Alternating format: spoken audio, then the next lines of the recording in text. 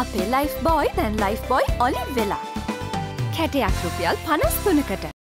එක්සත් ජාතික පක්ෂය ප්‍රමුඛ නවසන්ධානයේ චන්ද ලකුණ සහ ව්‍යවස්ථාව සම්බන්ධයෙන් තීරණයක් ගැනීම සඳහා එක්සත් ජාතික පක්ෂ කෘත්‍යාධිකාරී මණ්ඩලය පක්ෂනායක රනිල් වික්‍රමසිංහ මහතාගේ ප්‍රධානත්වයෙන් පෙරේදා පස්වරුවේ රැසුරා. කෙසේ වෙතත් එම සාකච්ඡාව අවසානයේදීද ඡන්ද ලකුණ සම්බන්ධයෙන් අවසන් එකගතාවකට පැමිණ නොතිබූ අතර අද පස්වරුවේ පැවැත්වෙන කෘත්‍යාධිකාරී මණ්ඩල රැස්වීමේදී ඒ සම්බන්ධයෙන් අවසන් තීරණයකට ලැබීමට නියමිතයි. එක්සත් ජාතික පක්ෂයේ කෘත්‍යාධිකාරී මණ්ඩලය පහුගිය මාසේ 30 වෙනිදා පැවැත්වුණු සාකච්ඡාවේදී තීන්දුව කරා අපි සකස් කරන සන්දානයේ සජිත් ප්‍රේමදාස මැතිතුමා ඒකේ නායකයා විය යුතුයි. නාම යෝජනා මණ්ඩලයේ සභාපතිත්වය සජිත් ප්‍රේමදාස මැතිතුමා විය යුතුයි. ඒතර මේවා කෘත්‍යාධිකාරී මණ්ඩලය අනුමත කරලා ක්‍රියාත්මක කරන දේවල්. ඉතින් ඒ නිසා අපි පැහැදිලිවම කියන්න ඕනේ මේ වෙන විට එක්සත් ජාතික පක්ෂයේ කෘත්‍යාධිකාරී මණ්ඩලය තුල සජිත් ප්‍රේමදාස මැතිතුමාට බලය පවරලා තියෙනවා කියන එක තමත් පැහැදිලිව කියන්න ඕනේ. අද දිනේ හවස 7ට කෘත්‍යාධිකාරී මණ්ඩල රැස්වීමක් පැවැත්වෙනවා. පහුගිය කෘත්‍යාධිකාරී මණ්ඩල රැස්වීමේදී එකඟතාවයකට ඇති වුණා වුණා ගොඩක් වෙලාවට ලකුණු සම්බන්ධයෙන් කතා කරන්න තියෙන්නේ. ඒ නිසා මම විශ්වාස කරනවා අද දිනේ කුත්‍යාධිකාරී මණ්ඩලයේ හවස 7ට සිරකොත